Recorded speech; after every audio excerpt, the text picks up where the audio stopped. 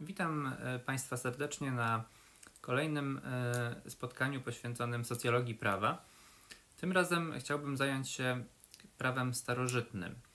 E, na poprzednim spotkaniu, gdy mówiłem o prawie przedpaństwowym, moim zasadniczym celem było pokazanie Państwu, że prawo przedpaństwowe niezwykle różniło się od tego, co dzisiaj określamy jako prawo od naszych wyobrażeń, które zwykle z prawem wiążemy, ale mimo to e, było to prawo.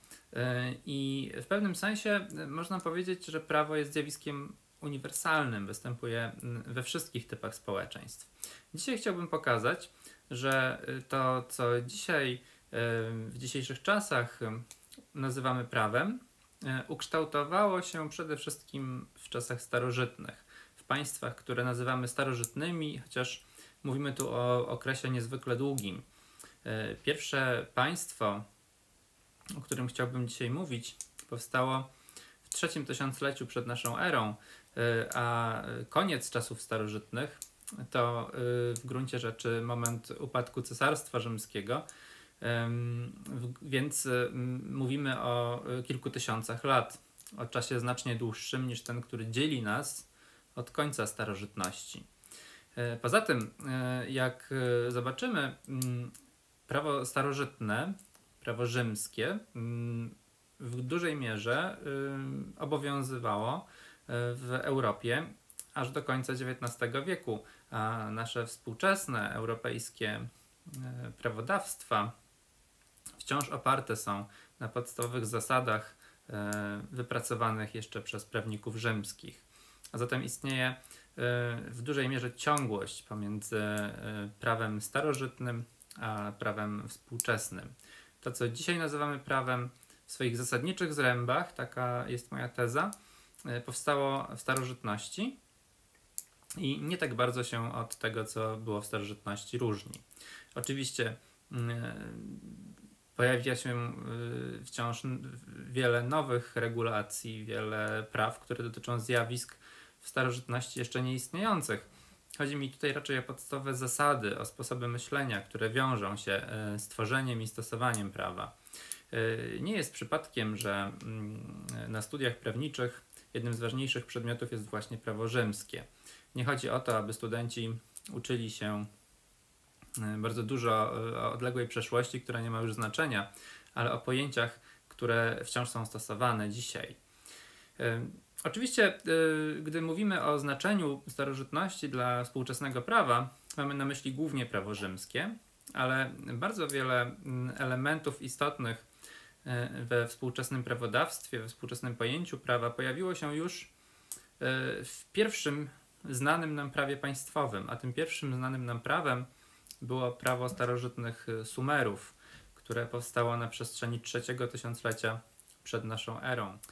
Jeszcze na początku XX wieku, mm, po odkryciu mm, przez francuskich archeologów e, w roku 1901 i 1902 e, kamiennych tablic z kodeksem Hammurabiego, sądzono, że pierwszym e, znanym prawem państwowym był właśnie kodeks Hammurabiego, rządzącego w Babilonii od 1728 roku przed naszą erą do 1600 86 roku przed naszą erą. E, obecnie jednak wiadomo, e, że e, jeszcze wcześniej powstał kodeks Urnamu, odkryty w roku 1947, a poza tym w roku 1948 odnaleziono także inskrypcje świadczące o istnieniu wcześniejszego kodeksu z roku 2360 przed naszą erą E, kodeksu królu, króla Urukaginy e, z miasta Lagasz. E, wiadomo więc, że mm, pierwsze prawa państwowe tworzyli Sumerowie. Twórcy także pierwszego państwa należącego do tzw. Tak imperiów wschodu, jednego z pierwszych tworów państwowych na Ziemi, które jest dobrze znane przede wszystkim dlatego, że Sumerowie spisywali zarówno swoje prawa, jak i na przykład umowy na kamiennych tablicach. Zachowały się one dużo lepiej niż papirusy, na których pisali Egipcjanie. stąd o prawie sumeryjskim, podobnie jak o prawie późniejszym prawie babilońskim, wiadomo więcej niż o prawie Egipcjan. Gospodarka państwa Sumerów mm, była w porównaniu z naszą prymitywna, można ją nazwać gospodarką pałacową. Jednak tym, co przede wszystkim dawało jej siłę i co w tamtym czasie można uznać za szczególnie nowoczesne, było istnienie pisma, tak zwanego pisma klinowego, które zostało mm, rozszyfrowane jeszcze na początku XIX wieku i pozwoliło uczonym badać mm, właśnie najstarsze prawa państwowe. Prawo Sumerów odzwierciedla E, typ gospodarki, która jeszcze mocno wskazuje na obecność struktur klanowych w tamtym społeczeństwie. Mimo, że istniało rolnictwo, rzemiosło, handel, to wciąż duże znaczenie miały struktury rodowe, które sprawiły, że w państwie Sumerów wciąż istniały specyficzne regulacje dotyczące na przykład mm, darów e, ślubnych, e, charakterystyczne właśnie dla społeczeństw klonowych, o których mówiłem poprzednio. E, nie istniało natomiast nic takiego jak testament czy mm, posag, instytucje, które są charakterystyczne dla społeczeństw bardziej indywidualistycznych. Pojawiają się one właśnie u starożytnych Egipcjan, co świadczy o większym indywidualizmie społeczeństwa egipskiego. Gospodarka państwa Sumerów mm, miała, jak to się dzisiaj określa, charakter pałacowy, a zatem e, rolnicy mm, dostarczali do pałacu mm, wszelkie wyprodukowane przez siebie dobra, e, produkty e, pracy rolnej, ale również produkty pracy rzemieślniczej. Następnie dostarczane im były przez pałac z kolei te dobra, których sami potrzebowali E, można więc powiedzieć, że mm, pałac był e, w jakiejś mierze ekwiwalentem rynku. Nie było w tym społeczeństwie bowiem pieniądza. Było natomiast pismo, które e, dla gospodarki pałacowej, dla możliwości jej funkcjonowania miało kluczowe znaczenie.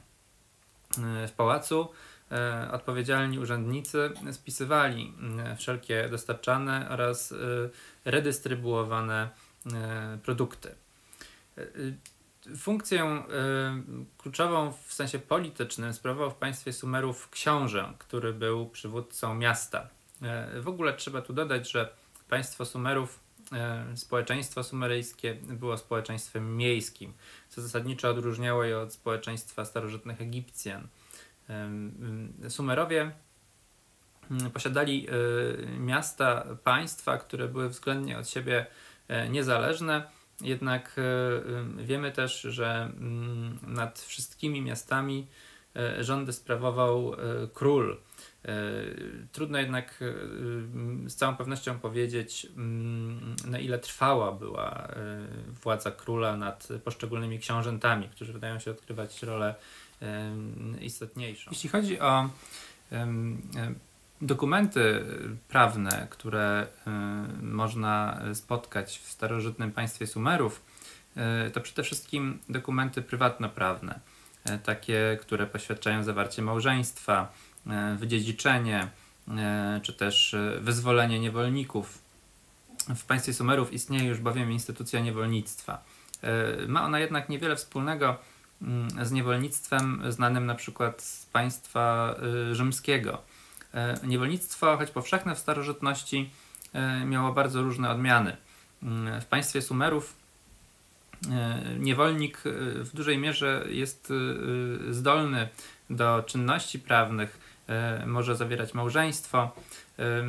Nie ma tak niskiego statusu jak w starożytnym Rzymie, gdzie w wielkich latyfundiach traci on właściwie mm, jakikolwiek status, y, zrównany zostaje z rzeczą czy zwierzęciem. Y, w starożytnej Grecji status ten też jest już niski. Natomiast jeszcze u Sumerów widać, że instytucja niewolnictwa być może nie zdążyła się ukształtować i przybrać owej szczególnie degradującej formy, jaką posiadała już w starożytnym Rzymie. U Sumerów nie występuje też tak rozwinięte prawo karne, jak na przykład w Grecji czy Rzymie. Jest to w dużej mierze prawo prywatno-karne, prawo deliktowe, które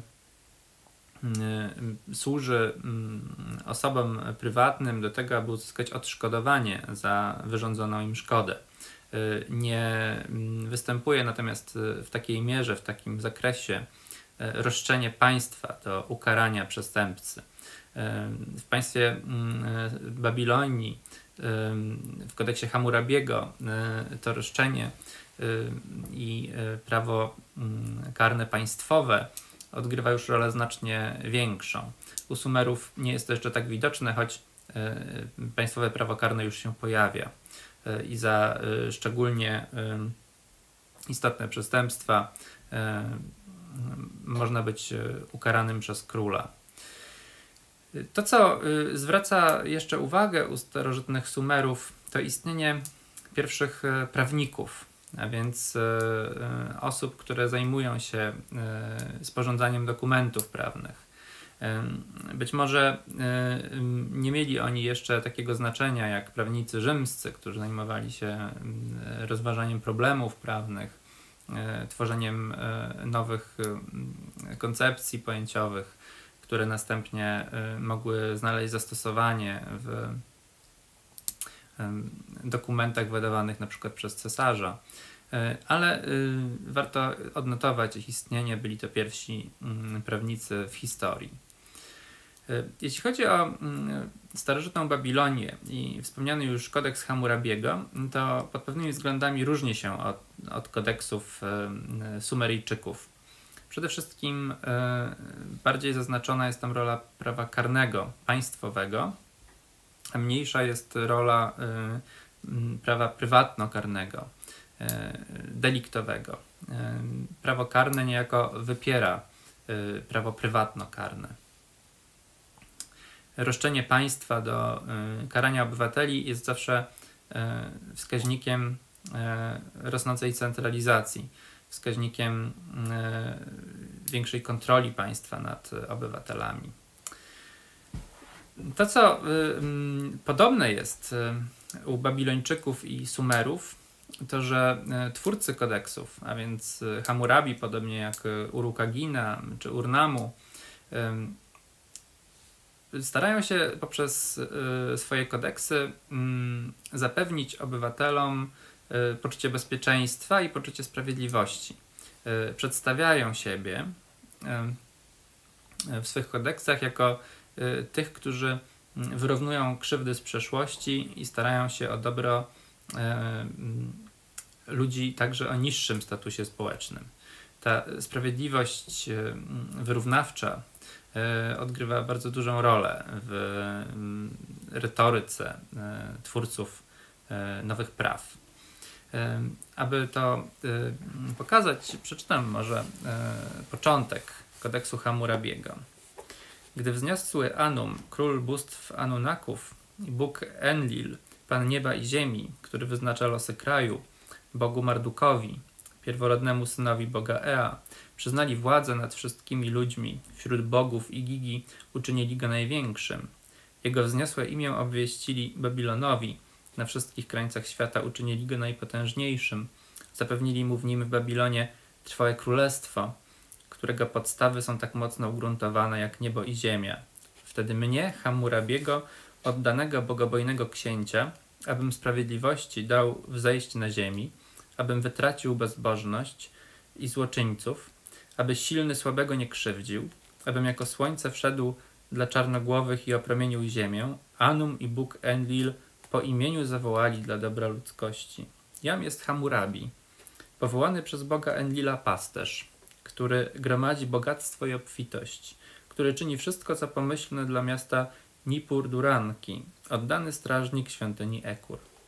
Król potężny, odnowiciel miasta Eridu, który oczyścił obrzędy świątyni Abzu orkan czterech stron świata, który uczynił wielkim imię Babilonu, który uszczęśliwia serce Boga Marduka, swego Pana, który każdego dnia chroni świątynię Esagila.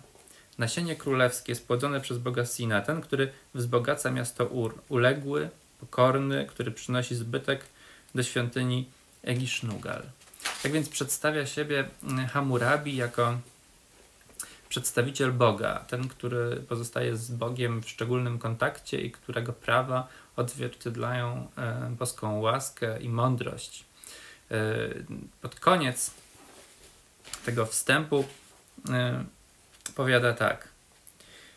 Jam jest król, który zmusił do posłuszeństwa cztery strony świata, ulubieniec bogini Isztar.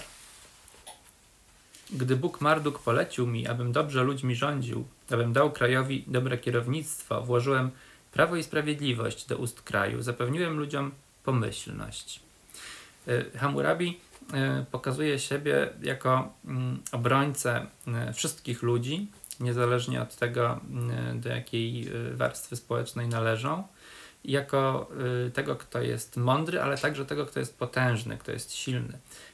To wrażenie potęgi jako posłannictwa Bożego ma w pewnym sensie wzmocnić posłuszeństwo poddanych E, powoływanie się na Boga i na sprawiedliwość służy zaś legitymizacji władzy e, Hammurabiego.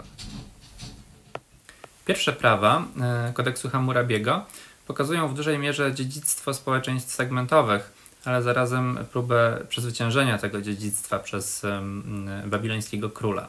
Czytamy: Jeśli ktoś kogoś oskarżył i rzucił nań podejrzenie o zabójstwo, zaś tego mu nie udowodnił, ten, kto go oskarżył, poniesie karę śmierci. E, w przepisie tym widać więc, że państwo e, niejako przejmuje kontrolę nad e, zachowaniami obywateli poddanych i wprowadza, tak jak już mówiłem, ową instancję karną, jaką jest samo państwo. Następnie czytamy, jeśli ktoś rzucił na kogoś podejrzenie o czary, a tego nie udowodnił, ten, na którego było rzucone podejrzenie o czary, pójdzie do rzeki, w rzece się zanurzy, a jeśli rzeka go pochwyci, ten, który go oskarżył, zabierze sobie jego majątek. Jeśli rzeka tego człowieka oczyści i pozostanie on zdrowy, ten, który rzucił nań podejrzenie o czary, poniesie karę śmierci. Ten, który zanurzył się w rzece, zabierze sobie majątek tego, który go oskarżył. Ponownie więc widać, że e, oskarżenie o czary, który, które w społeczeństwach mm, e, klanowych, takich jak choćby plemię Azande, badane przez Evansa Pritcharda, stanowiło e, e, coś normalnego i typowego. Tutaj nadal istnieje, ale jest wypierane przez strukturę państwową. Pojawiają się tak zwane ordalia, które w dużej mierze stanowią pozostałość mm, praktyk magicznych, ale nie stawiają oczywiście obu stron sporu w takiej samej sytuacji. Mało kto bowiem w starożytnym państwie Sumerów czy w starożytnej Babilonii potrafił pływać. Więc jeśli został rzucony do rzeki, bardzo prawdopodobne było, że utonął. Pokazywało to, że ordalia w pewnym sensie uprzywilejowały oskarżyciela. U starożytnych Babilończyków, podobnie jak u Sumerów, mm, przeważa mm, własność wspólna, charakterystyczna do społeczeństw klanowych. Obok niej pojawia się jednak także własność indywidualna w coraz większej mierze, co wiąże się bez wątpienia z istnieniem rynku, z istnieniem prywatnoprawnych umów E, które e, odgrywają dużo większą rolę niż u Sumerów. A ile u Sumerów znajdujemy przede wszystkim, jak już wspomniałem, e, dokumenty zaświadczające mm, zawarcie małżeństwa, umowy małżeńskie, wydziedziczenia, wyzwolenia, a w dużo mniejszej mierze kupno-sprzedaż, to u Babilończyków kupno-sprzedaż, czy najem odgrywają, czy dzierżawa odgrywają już znacznie większą rolę, e, co wiąże się bez, bez wątpienia z postępem mm, gospodarczym e, Babilończyków. Mimo tego istnieją w społeczeństwie mm, starożytnej Babilonii także mm, pewne elementy dawnego ustroju klanowego. Dla przykładu, mm, paragraf 163 kodeksu Hammurabiego mówi: Jeśli ktoś wziął sobie żonę, a ona nie postarała mu się o dzieci, ta kobieta pójdzie za losem, jeśli wiano, które ten człowiek przyniósł do domu swego teścia, jego teść mu zwróci, nie przysługują jej małżonkowi roszczenia prawne. Do posagu tej kobiety jej posag należy do domu jej ojca. E, ciągle więc instytucja wiana e, mm, okazuje się e, być pozostałością owych przedpaństwowych, klanowych darów ślubnych, o których mówiłem wcześniej. Podobnie mm, o pewnym zacofaniu, jeśli tak można powiedzieć, społeczeństwa babilońskiego świadczą, świadczy brak testamentu w współczesnym znaczeniu tego słowa, mimo że istniały pewne inne sposoby na to, aby przekazywać majątek, na przykład poprzez właśnie adopcję czy wyzwolenie. E, jednak e, e, to pokazuje, że społeczeństwo babilońskie nie było jeszcze na takim poziomie rozwoju prawnego, na jakim znajdowało się społeczeństwo rzymskie, które jest tutaj pewnym punktem odniesienia. Mimo to pojawiały się pewne instytucje, które charakterystyczne są także dla prawa rzymskiego, mianowicie tak zwana odpowiedzialność ewikcyjna, dotycząca sytuacji, kiedy E, sprzedający odpowiada za wady prawne rzeczy, a więc kiedy okazuje się, że ten, kto kupuje daną rzecz, e, nie kupuje jej od właściciela, e, ale od kogoś, kto za właściciela się jedynie podaje i następnie właściciel kieruje wobec kupującego roszczenia. Artykuł 279 E, kodeksu Hammurabiego mówi, jeśli ktoś kupił niewolnika albo niewolnicę, a ze względu na nich dojdzie do skargi, odpowiada za skargi e, sprzedawca. Tak więc e, widać tutaj, że ten problem podstawowy, z którym mierzyło się prawo rzymskie, był już przedmiotem regulacji Hammurabiego. Obok odpowiedzialności ewikcyjnej, która pokazuje, że dla e, Babilończyków istotniejsza była pewność praw nabytych niż e, pewność obrotu, e, znajdujemy także regulacje, które mm, są charakterystyczne dla późniejszych, także nowoczesnych praw dotyczące sytuacji mm, wynajmującego i najemcy. Prawo Hammurabiego pokazuje, że E, król dbał o e, przede wszystkim prawa najemców. E, świadczy o tym następujący mm, przepis. Jeśli najemca dał właścicielowi domu pełny roczny czynsz, a właściciel domu kazał mu wyprowadzić się przed upływem jego dni, to właściciel domu za to, że spowodował wyprowadzenie się najemcy przed upływem jego dni, straci pieniądze, które dał mu najemca. Ta obrona najemców może y, być właśnie realizacją y, obietnicy, jaką daje Hammurabi na początku mm, swego kodeksu, y, na, na wstępie, który ma zapewniać, że wszyscy obywatele, niezależnie od swojego majątkowego statusu, mogą cieszyć się ochroną ze strony króla. Warto tutaj zauważyć przy okazji, że mm, w odróżnieniu od państwa Sumerów, u Babilończyków pojawia się prywatna własność e, domów e, i ziemi, co świadczy o e, właśnie wspomnianym już rozwoju rynku w społeczeństwie Babilończyków. Jeśli chodzi o prawo karne, to jest ono mm, w Babilonii dużo surowsze niż u Sumerów, a także dużo surowsze niż u Egipcjan. E, prawo karne Egipcjan sprawia wrażenie niezwykle łagodnego w porównaniu z prawem babilońskim, choć jeszcze surowsze było prawo e, Asyryjczyków, e, ludu, który przejął pałeczkę po Babilończykach, w, jeśli chodzi o dominację w Dolinie Eufratu i Tygrysu, po upadku Babilonii. Trudno jest dzisiaj odpowiedzieć jednoznacznie na pytanie, z czym wiąże się surowość prawa karnego. Nie chodzi tu tylko o prawo talionu, z którego kodeks Hammurabi jest znany, ale o surowość wymierzonych kar.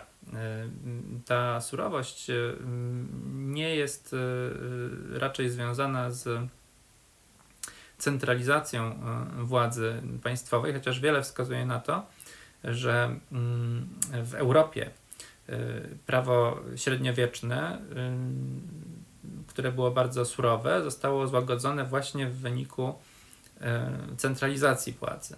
I tak zwane monarchie absolutne, czy też monarchie oświecone XVIII wieku wykazywały daleko idącą tendencję do łagodzenia kar w uznaniu roli praw człowieka.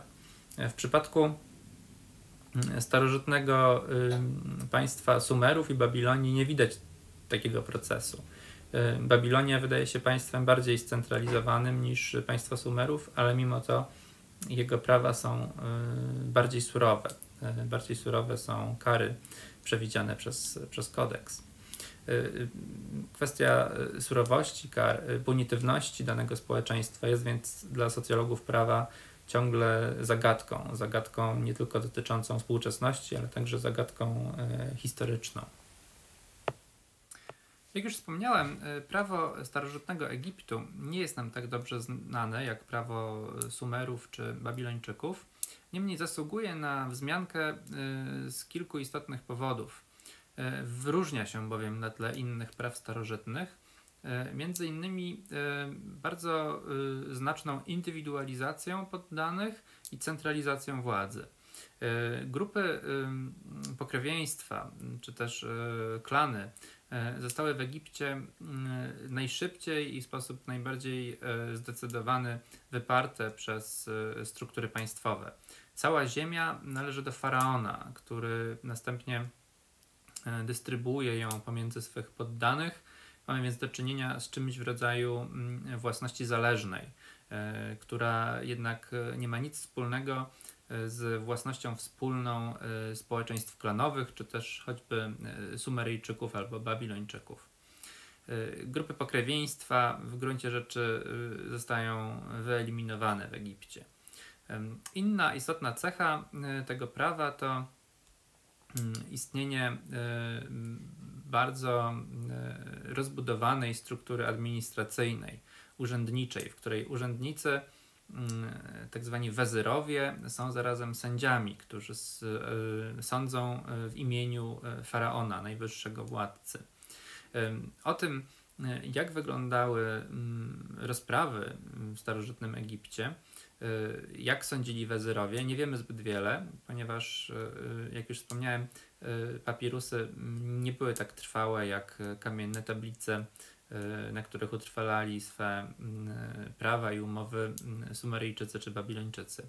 Niemniej y, możemy sporo się dowiedzieć z mm, obrazów y, nagrobnych czy wewnątrz grobowców, które pozostawili Egipcjanie. Obrazy te ilustrowały bowiem wiele sytuacji z ich życia prywatnego, publicznego, tak na przykład jeden z najwspanialszych pomników sztuki egipskiej, grobowiec wezyra e, Rechmire, wskazuje na to, że wezyr sądząc w imieniu faraona kierował się wydanymi przez faraona przepisami, ponieważ widać na obrazie 40 Y, małych zwojów, które prawdopodobnie były właśnie zwojami, na których spisane jest prawo, którym kierował się Wezyr. Y, wiadomo także, że mm, proces w starożytnym Egipcie miał charakter y, pisemny, dalece sformalizowany, co upodabnia go do wczesnego procesu rzymskiego, tak zwanego procesu formułkowego. Skargę złożyć można było jedynie pisemnie. Podobnie pisemnie odpowiedzieć trzeba było e, na złożoną na siebie skargę. E, wreszcie również wyrok musiał mieć charakter pisemny e, i musiał być pisemnie uzasadniony. Ten formalny charakter procesu, czy wręcz formalistyczny charakter procesu, każe zadać bardzo istotne pytanie socjologiczno-prawne czy narzucenie formy pisemnej nie eliminuje z dostępu do procesu, czy z dostępu do pełnoprawnego udziału w procesie tych wszystkich, którzy nie potrafią pisać ani czytać. Pojawia się tutaj więc zagadnienie dostępu do prawa. E, widać, że formalistyczny charakter procesu może spowodować wyłączenie z niego bardzo wielu osób. Kolejny aspekt prawa egipskiego zasługujący na wzmiankę to wysoka pozycja kobiet w społeczeństwie egipskim i ich pełna zdolność prawna, zdolność do czynności prawnych. Pozycja ta nie była mm, tak wysoka w żadnym innym społeczeństwie starożytnym. E, wiąże się to prawdopodobnie ze wspomnianą przeze mnie e, szybką, e, względnie szybką eliminacją struktur klonowych, których nie udało się wyeliminować ani w państwie Sumerów, ani w Babilonii, ani także w starożytnej Grecji czy mm, w dawnych państwach żydowskich. U Egipcjan mm, to wyeliminowanie struktur klonowych mogło wiązać się ze zmniejszeniem roli wiana które traktowane mogło być jako kupno żony. E, nawet jeśli nie należy go identyfikować z kupnem żony, to można je traktować jako e, czynnik pozwalający postrzegać kobietę jako coś, co posiada wartość materialną, co może być wyceniane e, rynkowo. E, ta wysoka pozycja kobiet e, oczywiście nie oznaczała, że e, były one równouprawnione z mężczyznami. Nie zajmowały tak często pozycji władczych, nie były wezyrami, choć bywało, że były faraonami. To jest aspekt, który zasługuje na uwagę i być może ciągle nie ma pełnego wyjaśnienia. Jednak z punktu widzenia socjologii prawa jest szczególnie istotny.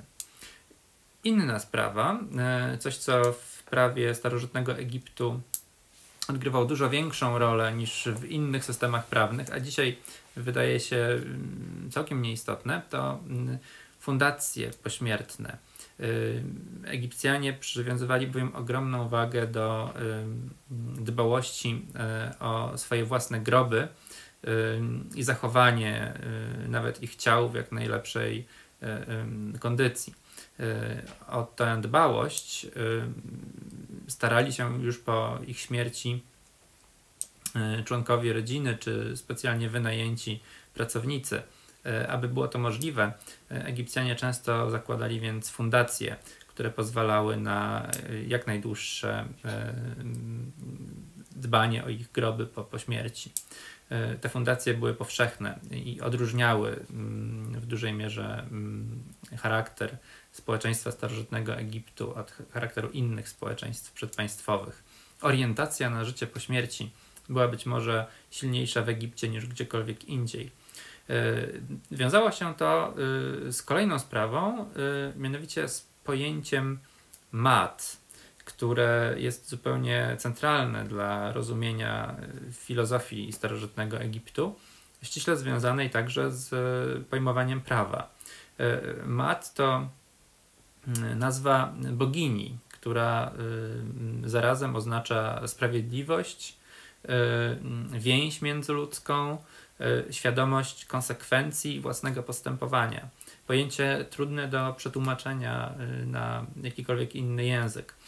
Dość dobrze scharakteryzował je, jego znaczenie dla kultury prawnej starożytnego Egiptu wybitny badacz tamtej kultury Jan Asman. Zgodnie z jedyną definicją, jaką znaleźliśmy w pewnym tekście, pisze Asman, mat oznacza zasadę, która sprawia, że dobro się opłaca, a zło się mści. Zapłata tego, który czyni, polega na tym, że będzie się dla niego czynić. Bóg uważa to za mat. Sedno tego, co oznacza mat, leży w obrębie prawa, pisze dalej Asman. Nie zapominajmy, że wezyr, który w egipskiej strukturze państwowej administruje resortem sprawiedliwości, nosi tytuł kapłana mat. E, Mat jest majestatem zawodu sędziego, boginią głoszenia prawa. Wezyr jest rzecznikiem Mat, a zarazem najwyższym urzędnikiem państwowym. Wskazuje to na centralne miejsce, które prawo, to znaczy Mat, zajmuje w egipskim państwie. Podstawową ideą prawa w archaicznym świecie jest stanowienie sfery powiązań, czyli więzi i zobowiązań. Zasada mat ugruntowuje sferę wartości norm, która łączy ludzi oraz następstwa z czynami. E, to ogromne znaczenie, jakie Egipcjanie przywiązywali do owej e, sprawiedliwości łączącej, e, nie oznacza jednak, że ich system prawny wolny był od wad. Wspomniałem już bowiem o dużym znaczeniu biurokracji, hierarchicznej struktury administracyjnej w funkcjonowaniu społeczeństwa egipskiego. Stąd też na jednym z grobowców należących do sędziego egipskiego znajdujemy e, inskrypcję mówiącą e, byłem e, dobrym sędzią, sądziłem bezstronnie, ponieważ byłem bogaty. Świadczy to dobitnie o tym, jak powszechna była wśród sędziów egipskich korupcja. Coś, co mm, wiązało się z funkcjonowaniem prawa od najdawniejszych czasów, nie było obce społeczeństwom starożytnym, być może w szczególnym stopniu właśnie Egipcjanom. Podobnie jak w prawie starożytnego Egiptu, e, wiele cech szczególnych znaleźć możemy mm, w starożytnym prawie hebrajskim.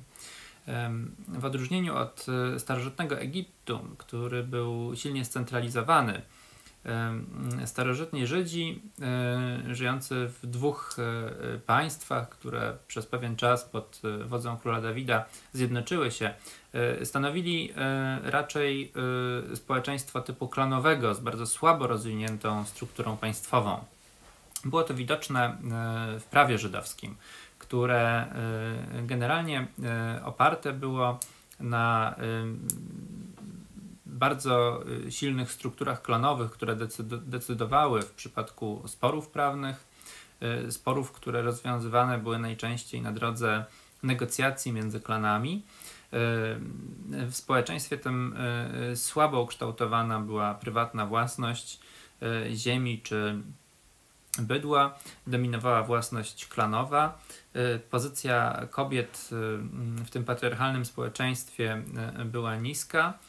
Kobieta y, przez całe życie pozostawała pod władzą, czy to ojca, czy męża, czy wreszcie pod koniec swego życia jako wdowa pod władzą najstarszego syna, y, który otrzymywał y, zresztą ze względu na opiekę podwójną wartość spadku przynależnego pozostałym dzieciom. E, prawo żydowskie e, wyróżnia się jednak na tle innych e, dawnych praw orientalnych mm, kilkoma cechami, które zasługują na uwagę socjologów prawa. Po pierwsze, było ono silniej związane z religią niż jakiekolwiek inne starożytne prawo.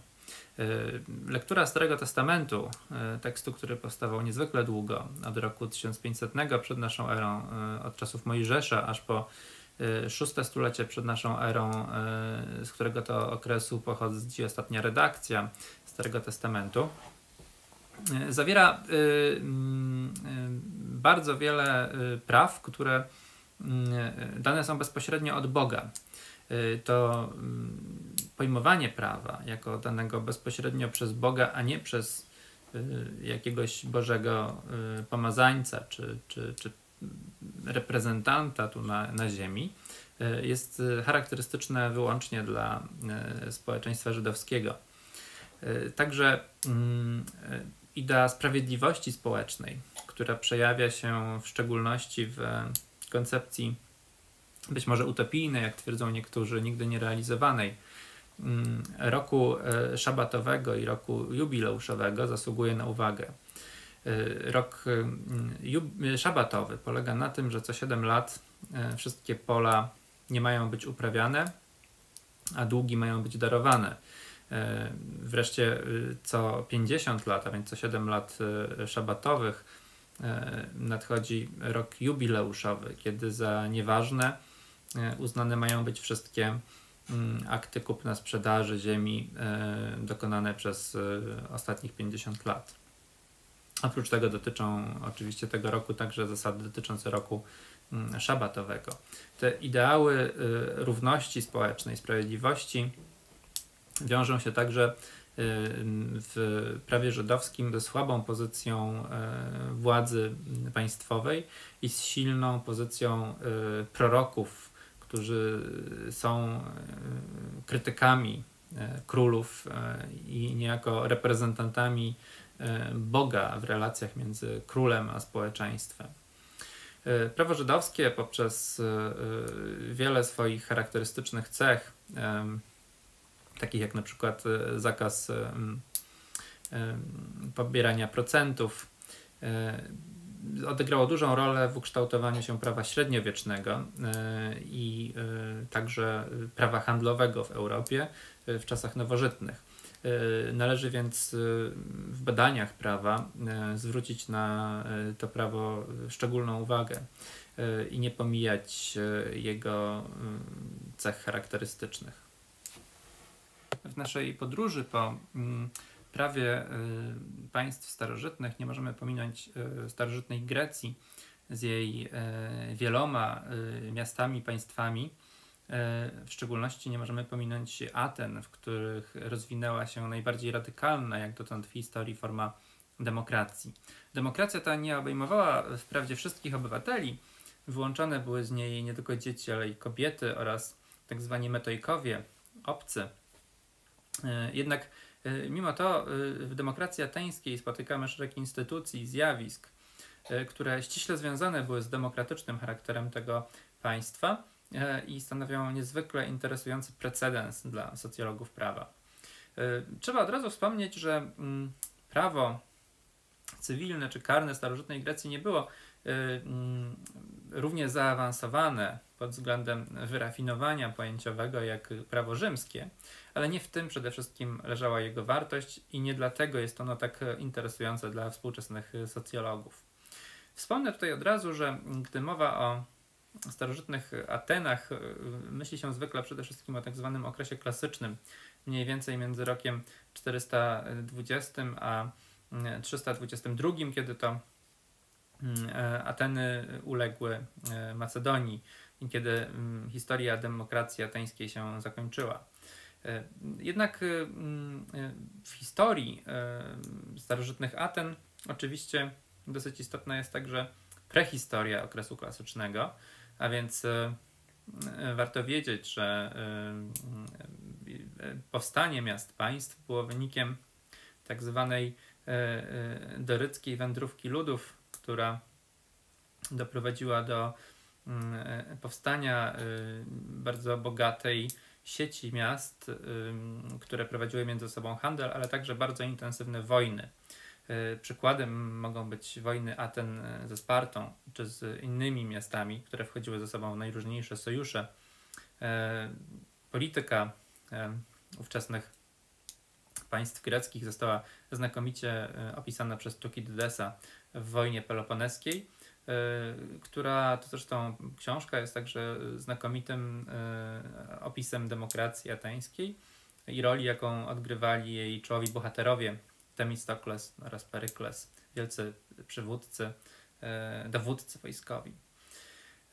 Gdy mowa o starożytnych Atenach, warto wspomnieć o reformach, które wprowadzone były jeszcze przed nastaniem okresu klasycznego przez Drakona w roku 620 oraz Solona w 594.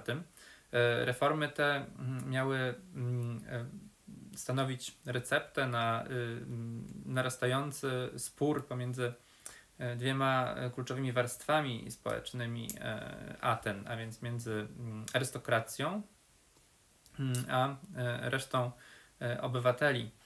Arystokraci mm, najczęściej byli dominującą siłą polityczną i z trudem udawało się E, przeciwstawić ich e, oligarchicznym rządom.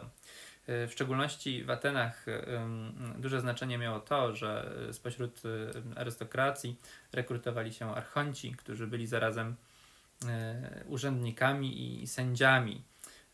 Jedynie tak zwany areopag rozsądzał sprawy o najwyższej wadze. Większość spraw rozsądzali jednak archonci.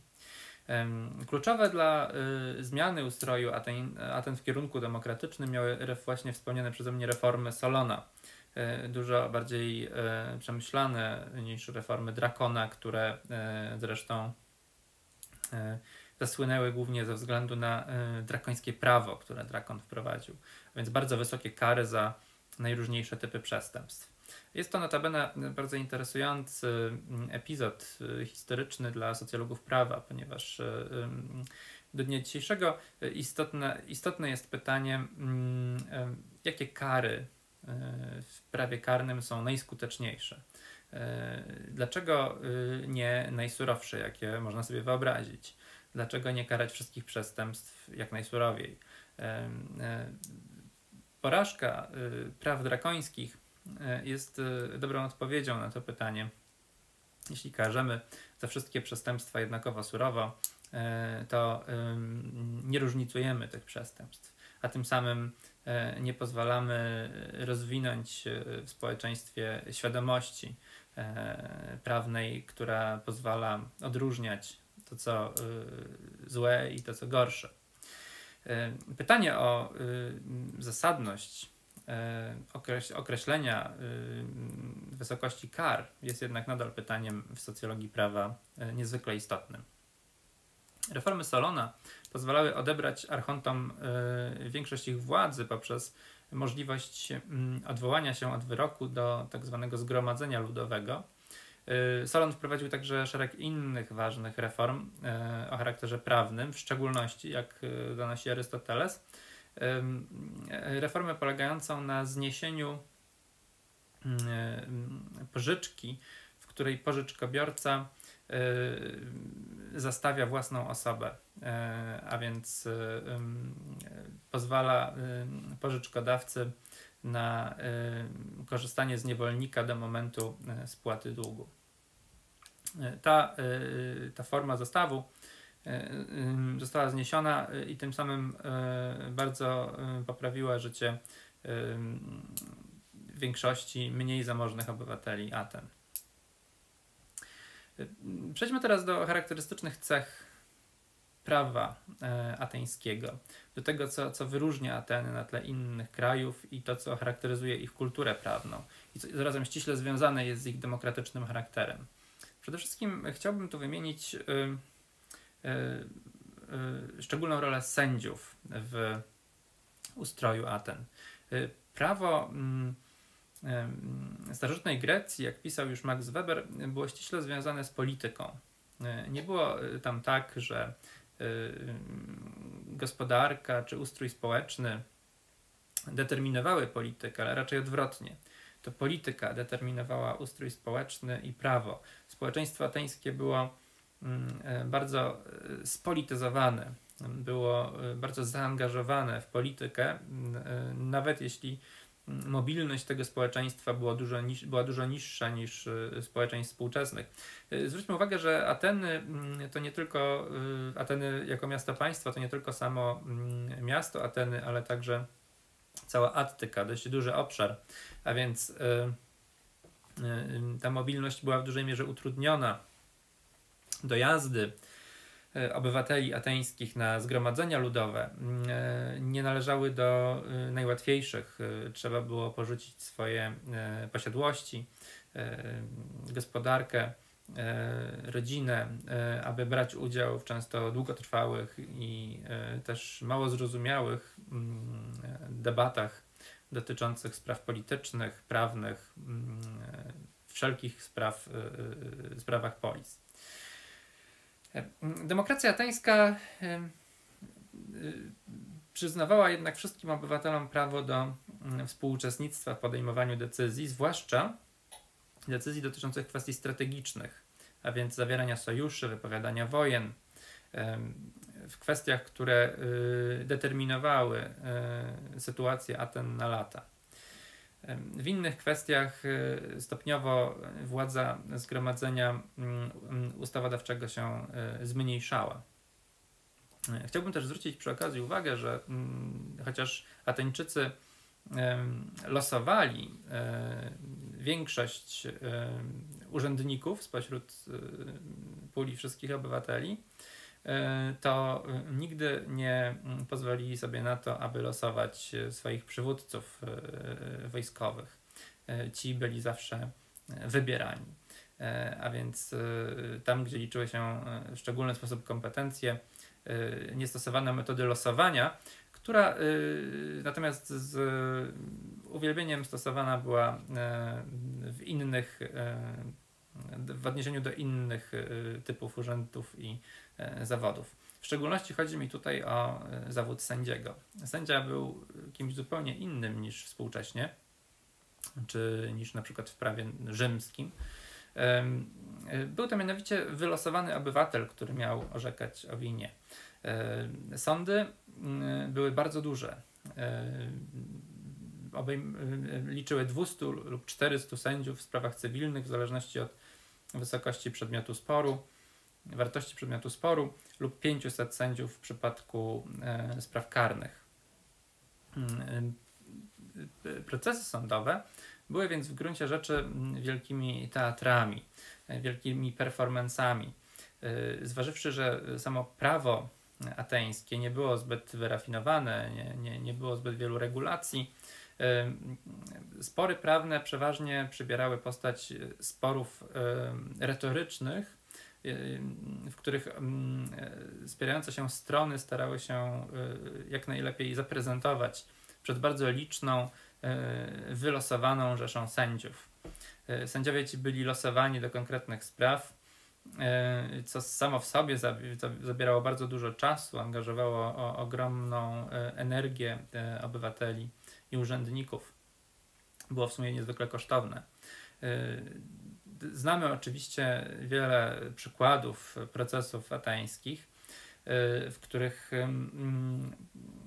spierające się strony często mówiły o sprawach niezwiązanych bezpośrednio z prawem, ale raczej właśnie z polityką, z obyczajowością.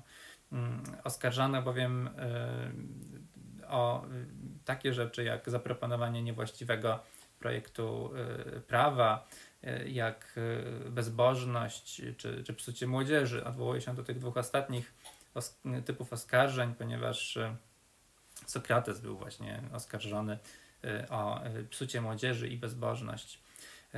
Jego słynny proces został zresztą opisany w obronie Sokratesa, która jest jednym z najważniejszych dzieł starożytnej literatury.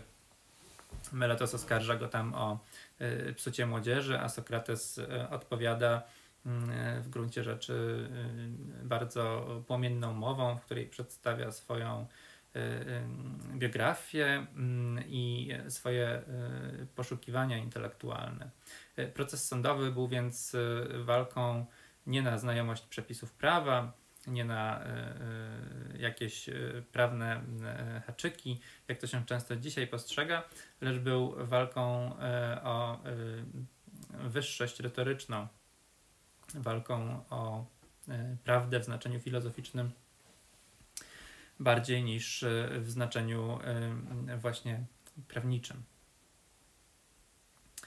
E, chciałbym tu dodać, że e, kolorytu dodawało procesowi e, ateńskiemu to, że nie można w nim było korzystać z obrońcy. Obrońca nie mógł w czasie procesu wygłaszać przemów niejako w imieniu strony. Strona musiała bronić się sama i to w odpowiednim, zmieścić się przy tym w odpowiednim czasie nie można było tego czasu przekroczyć, był on bardzo dokładnie mierzony. E, nie można było mówić dłużej niż strona przeciwna. Jednak w obronie pomagali tak zwani logografowie, a więc osoby wyspecjalizowane w pisaniu mów obrończych. Takimi logografami, słynnymi logografami ateńskimi byli na przykład Isokrates, Hypereides czy Demostenes. E, te dwie ostatnie postaci, e, Hypereides i Demosthenes, byli zarazem politykami, którzy e, zasłynęli patriotyzmem ateńskim w obliczu konfliktu z Macedonią. Szczególnie Hypereides to trwał do samego końca, ostatecznie skazany wraz z Demosthenesem przez Macedończyków. Przy okazji dodam, że przetrwały zapisy niektórych ateńskich procesów, w których logografowie pisali swoim klientom znakomite mowy. Takie mowy sporządzał zarówno Demostenes, jak i Hypereides. Znany jest na przykład proces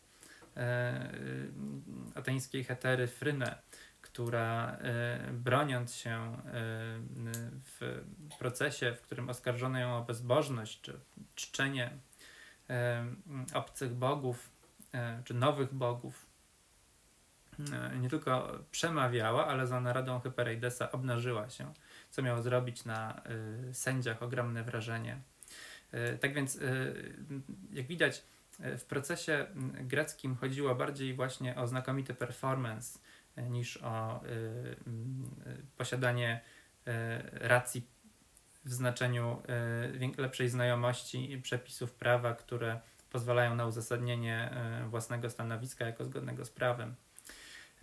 W procesie ateńskim odwoływano się często do emocji, do łez, do próby zrobienia na sędziach wrażenia siłą wyrazu, bardziej niż znajomością przepisów czy, czy udowodnieniem określonej tezy. Prawo starożytnych Greków, w szczególności prawo ateńskie, cechowało się swoistym prymitywizmem w porównaniu do prawa starożytnego Rzymu. Można to wykazać na dwóch charakterystycznych przykładach. Po pierwsze, brak w prawie starożytnych Aten tak zwanej skargi rzeczowej, zwanej w starożytnym Rzymie rei vindicatio, która pozwala właścicielowi na wysunięcie roszczenia przed sądem o wydanie należącej doń rzeczy. Naruszenie własności traktowane jest przez starożytnych Greków raczej jako delikt, jako szkoda na osobie właściciela. W przypadku rzeczy ruchomych, jako delikt polegający na uszkodzeniu rzeczy, a w przypadku nieruchomości, jako delikt polegający na trzymaniu właściciela z dala od należącej doń nieruchomości. Tak więc w przypadku zarówno deliktu dotyczącego rzeczy ruchomych, jak i nieruchomych przysługują właścicielowi skargi o charakterze deliktowym dike blabes, które oznacza skargę o naprawienie szkody oraz różne rodzaje skarg związanych z mm, niepozwalaniem właścicielowi na korzystanie z jego nieruchomości, w szczególności mm, skarga o wypłatę możliwych do uzyskania z nieruchomości dochodów. Ten przykład pokazuje, że Grecy nie dysponowali pojęciami, które pozwoliłyby im na odróżnienie powództw in rem oraz in personam, powództw rzeczowych od powództw związanych z zobowiązaniami, zobowiązaniowych, dotyczących relacji wynikających z umowy, czy też z wyrządzenia szkody. Podobnie Grecy nie posiadali rozróżnienia, czy nie korzystali z rozróżnienia między posiadaniem a własnością. Własność była tym samym co posiadanie, podczas gdy starożytni Rzymianie potrafili ochraniać także tego, kto jest, sam, jest posiadaczem, mimo że nie jest właścicielem. Służyły temu tak zwane interdykty, e, a więc e, przyznawane przez e, pretora, specjalnego urzędnika, środki prawne pozwalające na ochronę samego tylko posiadania, niezależnie od tego, jakiego rodzaju posiadaczem się jest. Innym przykładem e, swoistej niedojrzałości prawa greckiego w porównaniu z prawem rzymskim e, była słabość e, greckiego prawa zobowiązań, w którym tak naprawdę mm, nie rozwinęła się do końca sama idea zobowiązania. Owszem, istniała koncepcja skargi o naprawienie szkody czy odszkodowanie. Nie było jednak idei samej umowy zobowiązującej do określonych rozporządzeń. Tak więc mm, przykładem może być analizowana przez Hansa Juliusa Wolfa umowa pożyczki. W przypadku, gdy dłużnik jej nie spłacał, Grecy posługiwali się skargą o naprawienie szkód rzeczowych. Tak jakby wyobrażali sobie, że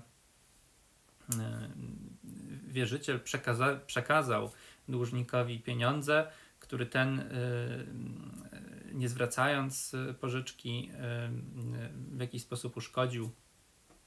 Tak więc nie istniała koncepcja, najprawdopodobniej u Greków, umowy, która zobowiązywałaby do określonego rozporządzenia, przeniesienia własności pieniędzy, które następnie dłużnik musiałby zwrócić, zresztą w samym naszym sposobie mówienia że dłużnik ma zwrócić pieniądze, widoczny jest ten właśnie prastary, grecki jeszcze sposób myślenia o umowie. Yy, wynika z tego, że yy, Grecy nie dysponowali tak zaawansowanym systemem pojęciowym dotyczącym prawa jak starożytni Rzymianie, którzy rozróżniali zarówno własność i posiadanie, jak też zobowiązanie i rozporządzenie.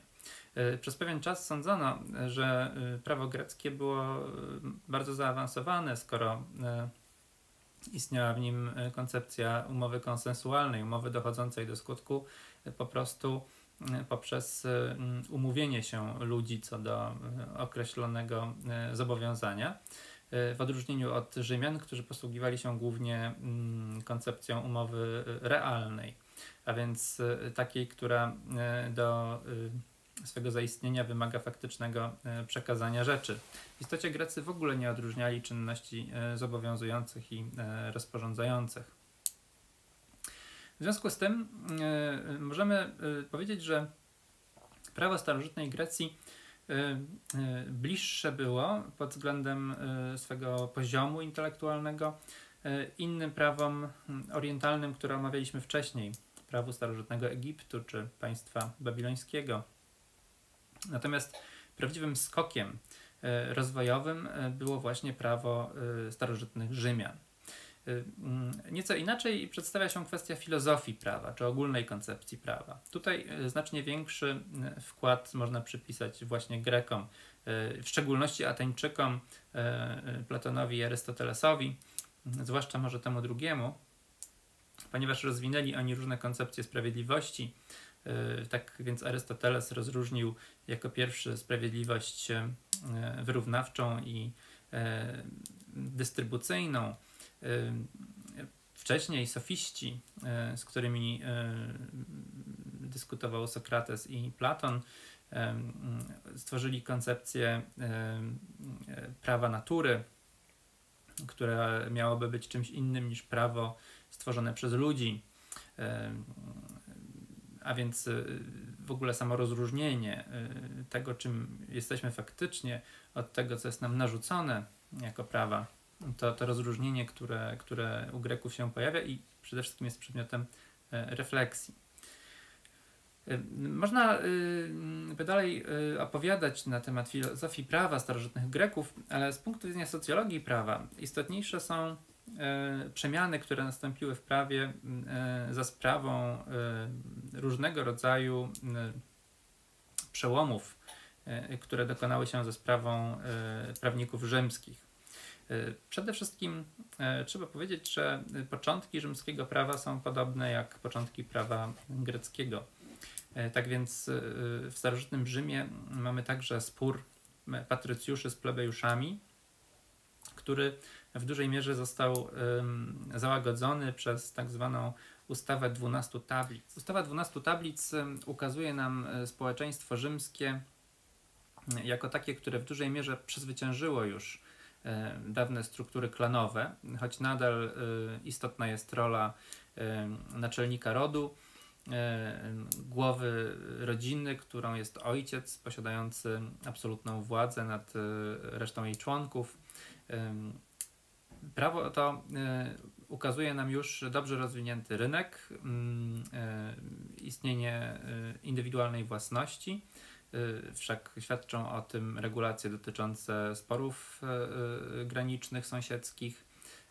Istnieją tam także przepisy prawa mm, publicznego, przepisy prawa karnego dotyczące zwłaszcza prywatnych skarg. Prawo karne ma głównie charakter prywatny. Kara wymierzona jest więc na Y, żądanie pokrzywdzonego mm, i szereg innych przepisów y, y, pokazujących już dość duże zaawansowanie prawa w stosunku do innych systemów prawnych, które omawiałem wcześniej. To, co jednak najistotniejsze, to tak zwana interpretacja ustawy 12 tablic, która dokonywała się już po wejściu jej w życie. Okazało się bowiem, że Y, wraz z rozrostem y, państwa rzymskiego, Republiki Rzymskiej, bardzo często przepisy ustawy nie wystarczały. Była ona w dużej mierze martwa albo nie regulowała pewnych rzeczy, które regulowało życie. Prawnicy rzymscy, zarazem najważniejsi urzędnicy zajmujący się prawem, tak zwani pretorzy, w dużej mierze twórczo interpretowali więc e, ustawę 12 tablic, aby wykorzystać e, zawarte w niej instytucje do dokonywania e, czynności prawnych, które okazały się potrzebne w praktyce. Przykładem takiej właśnie twórczej interpretacji, która nie była zasługą pretorów, tylko po prostu wynikała z tego, co ludzie robili na co dzień i jak korzystali z ustawy, było in e, a więc rodzaj e, sporu sądowego o charakterze pozornym, w którym e, jedna osoba, powód, żądał wydania rzeczy od pozwanego. I w ten sposób, na skutek orzeczenia sądowego, rzecz przechodziła na własność powoda. Y, spór taki mm, recesję miał charakter pozorny. Y, powód nie chciał bowiem wydobyć od y, pozwanego rzeczy, a jedynie chciał ją kupić. Posługując się sporem sądowym, in można więc było dokonać transakcji, która była ważna w świetle prawa obowiązującego obywateli rzymskich, tak zwanego jus civile, prawa obywateli. Obywateli właśnie w tym przypadku rzymskich, choć jus civile może oznaczać też prawo obywateli innych miast, dla których prawo rzymskie było jus peregrinorum, prawem obcych. W starożytności obowiązywała bowiem generalnie zasada personalizmu prawnego. Każdy rządził się, tak jak już wspominałem na poprzednim wykładzie, prawem swojego miasta, swojego, swojego miejsca. Y, jeśli na terenie Cesarstwa Rzymskiego mieszkali mm, Egipcjanie, rządzili się prawem egipskim, Syryjczycy prawem syryjskim, Grecy prawem greckim, y, y, Rzymianie prawem rzymskim. Prawo rzymskie, jest civile, było więc początkowo prawem partykularnym, stawało się jednak coraz istotniejsze wraz z rozrostem Cesarstwa Rzymskiego, wraz z jego ekspansją na nowe terytoria.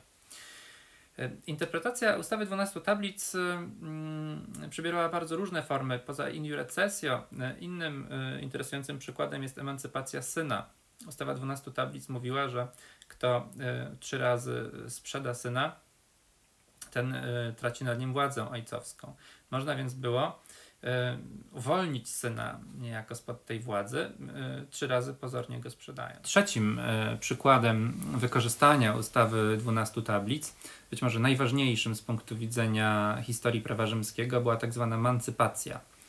Mancypacja była w gruncie rzeczy rytuałem, w którym mistrz ceremonii, tak zwany libripens, E, odważał e, kruszec sprzedającemu, natomiast kupujący uroczyście kładł rękę na e, przedmiocie nabywanym. Po dokonaniu tego rytuału przenoszono własność w sposób zgodny z jus civile i ważny w świetle jus civile. Z czasem ta cena odważana w postaci kruszcu przestała mieć w gruncie rzeczy znaczenie, ponieważ dokonywano także innych poza sprzedażą czynności prawnych, posługując się rytuałem emancypacji, aby uzyskać skutek prawny w postaci ważności dokonanej czynności w świetle jus civile. Tak więc odważając na przykład bardzo niewiele wart kruszec, czy też jednego sesterca można było sprzedać,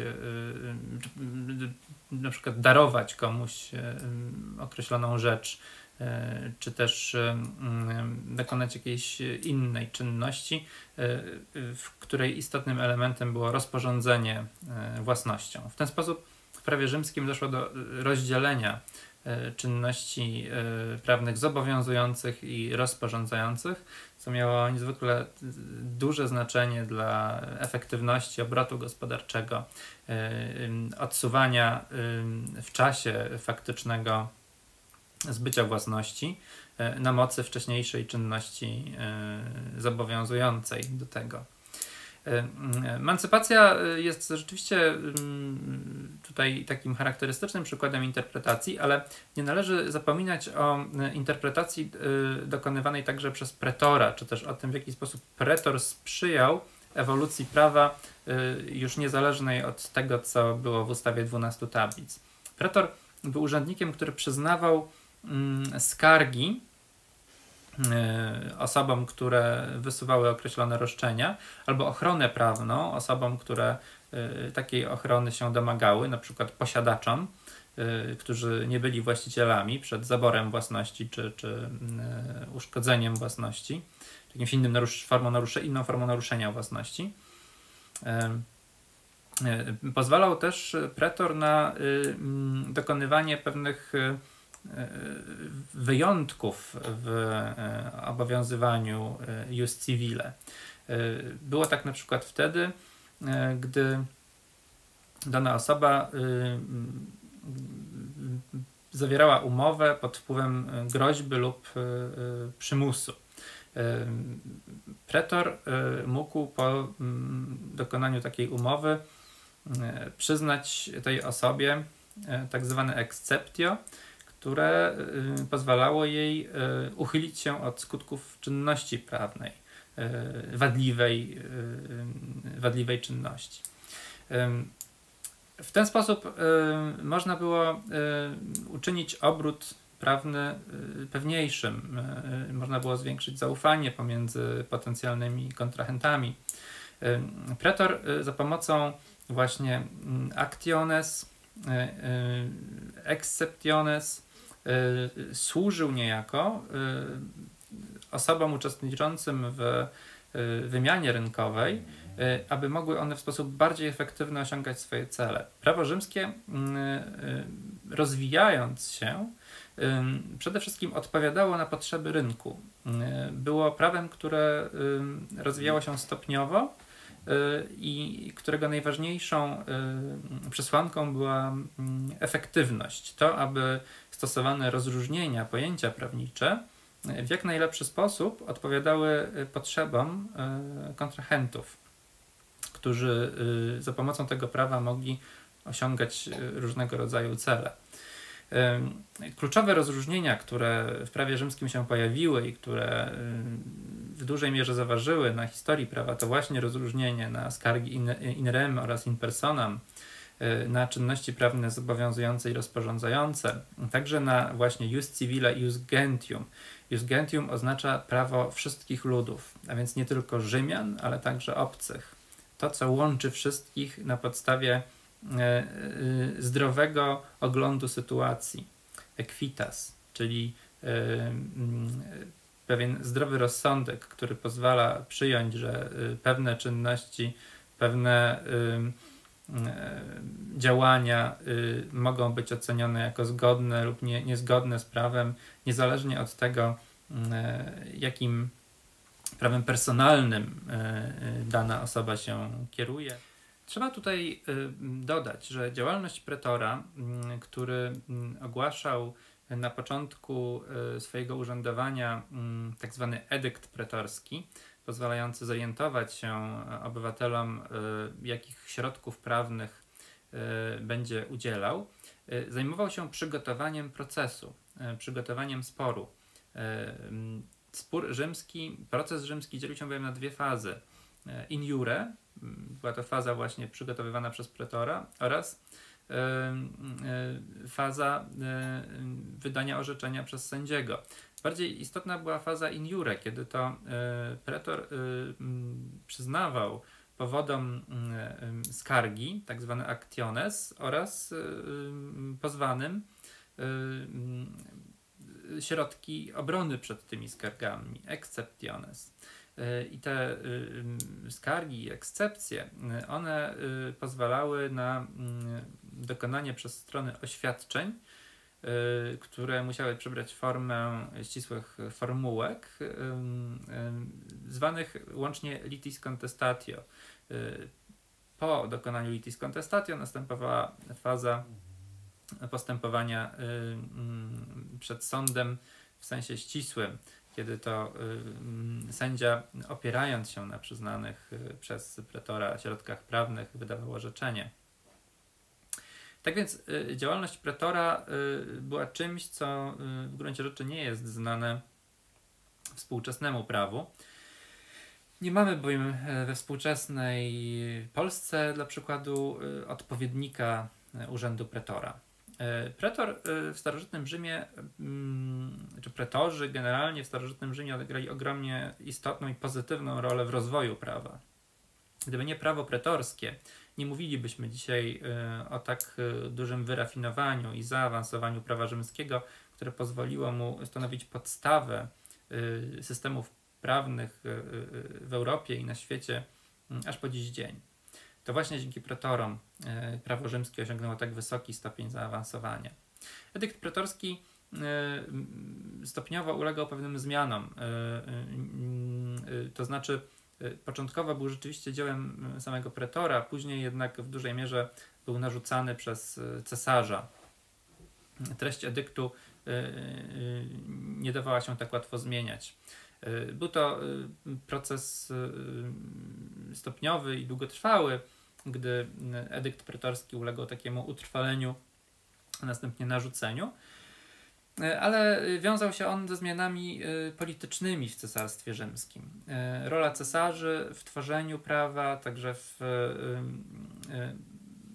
osądzaniu, prowadzeniu, prowadzeniu działalności o charakterze doradczym miała coraz większe znaczenie.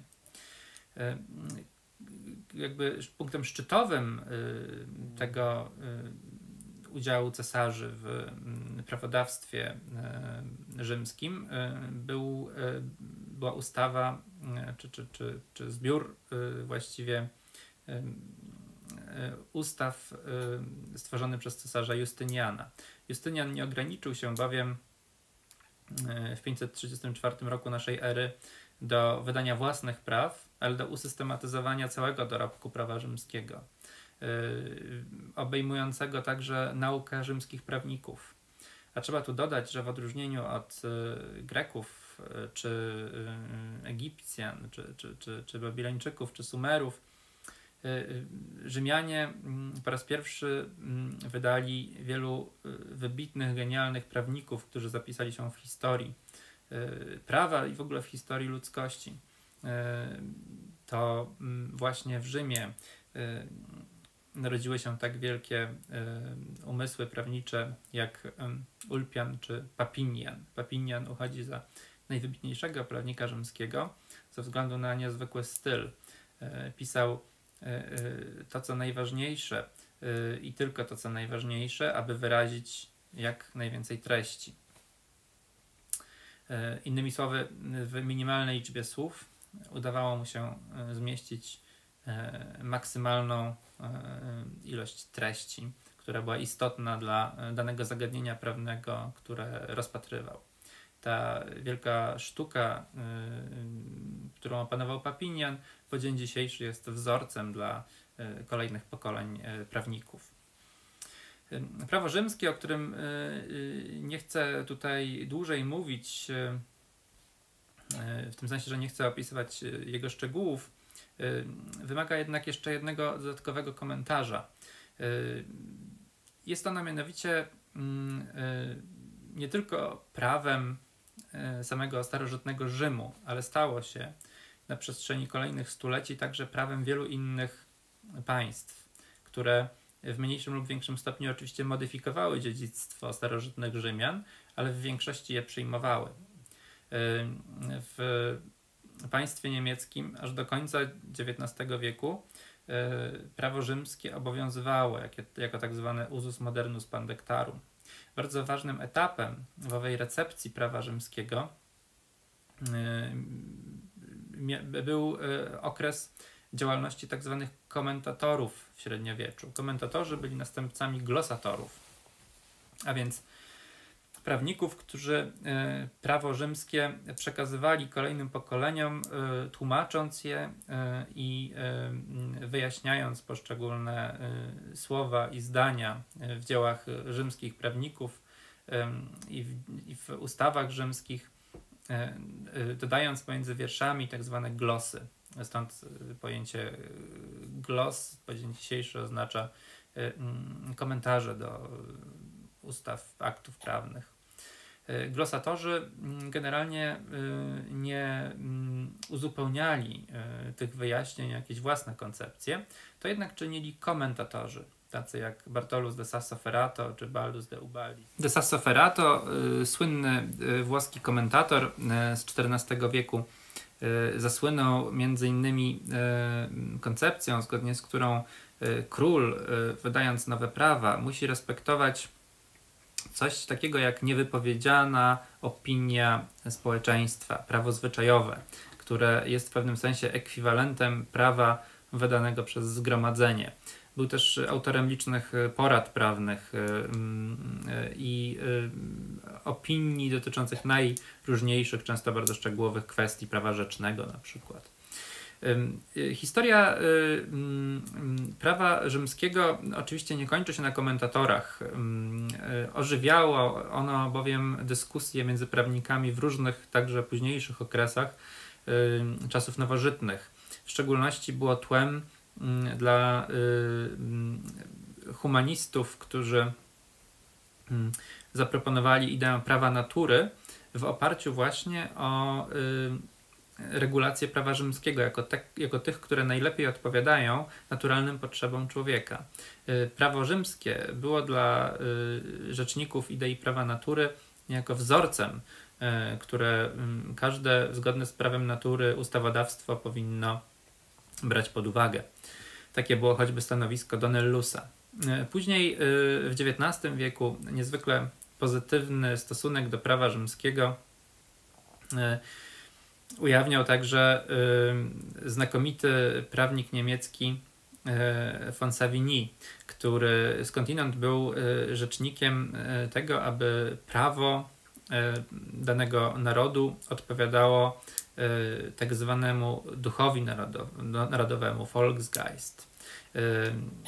Koncepcja von Saviniego w dużej mierze mm, stanowiła asumpt do powstania klasycznej socjologii prawa. E, o tych właśnie początkach socjologii prawa e, i o doktrynie Fonsaviniego, o tym, jaki miała wpływ na twórczość takich autorów jak Eugen Ehrlich czy Leon Petrażycki czy Max Weber. Mówić będę na kolejnym wykładzie. Y, tutaj chciałbym y, raz jeszcze podkreślić, że y, prawo starożytne, o którym dziś była mowa, nie jest tylko dokumentem historycznym, lecz w dużej mierze pokazuje uniwersalne cechy prawa y, i w dużej mierze nadało kierunek y, temu wielkiemu procesowi społecznemu, jakim jest tworzenie y, prawa. Dziękuję Państwu za uwagę i do zobaczenia.